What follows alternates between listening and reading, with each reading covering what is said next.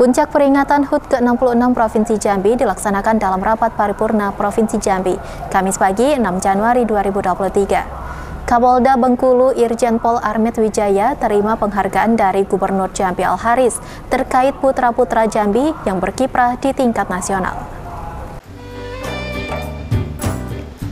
Dalam rapat paripurna yang diadakan pada 6 Januari 2023, Kapolda Bengkulu Irjen Pol Armet Wijaya terima penghargaan dari Gubernur Jambi Al Haris terkait putra-putra Jambi yang berkiprah di tingkat nasional. Selain itu, Armet Wijaya juga menegaskan bahwa kepolisian masih perlu bekerja lebih keras dalam menjaga keamanan dan kesejahteraan masyarakat Jambi. Mantan Deputi 5 Bidang Koordinasi Keamanan dan Ketertiban Masyarakat Kemenko Polhukam juga mengimbau kepada masyarakat Jambi untuk turut membantu pihak penegak hukum dalam menjaga keamanan dan menjauhi konflik yang ada di Jambi. Menurutnya dengan terjaganya keamanan, maka pembangunan pun akan berjalan lancar.